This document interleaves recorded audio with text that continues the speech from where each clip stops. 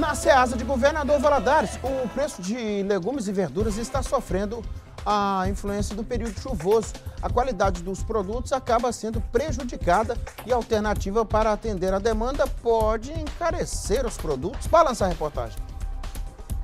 Nuvens carregadas informam. O período chuvoso traz esperança de boa colheita.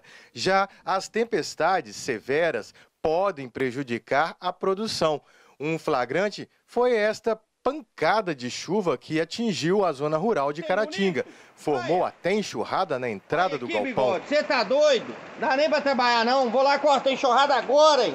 O registro do pé d'água foi do Belchior. O produtor rural fornece mais de 6 mil unidades de verduras à SEASA, Central de Abastecimentos em Governador Valadares. Se somar outros produtores, chegam a 50 mil. Quando chega o período das chuvas, isso cai para quanto? Acaba mantendo quase que busca muito fora, mas nas 50 chegam às 35, 40.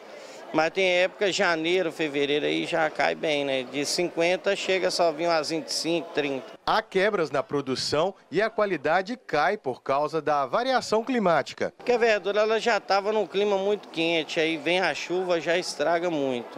Então, nada, coenta americana hoje não veio nenhuma, entendeu?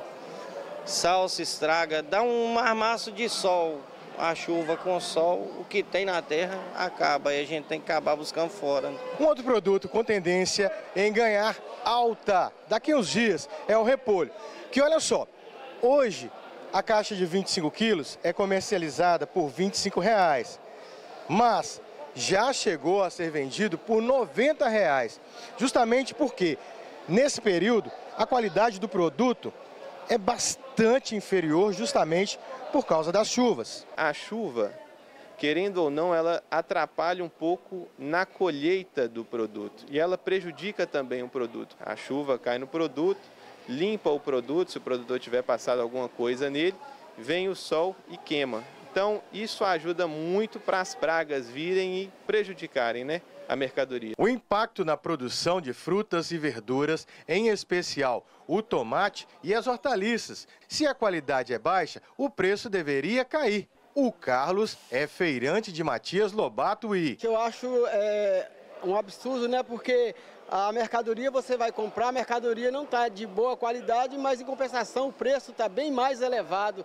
Aí não dá para entender, né? Não sei se é por causa do motivo da chuva, mas cada semana que a gente vem cá a qualidade é diferente. Do preço está sempre nas alturas. O IPCA, Índice Nacional de Preços ao Consumidor Amplo, conhecido como a prévia da inflação para o mês, registrou um aumento de 0,53% em novembro os preços do inhame, cebola e maçã continuam nas alturas. Esses são os produtos que estão agindo com preço mais alto e não têm tendência de abaixar.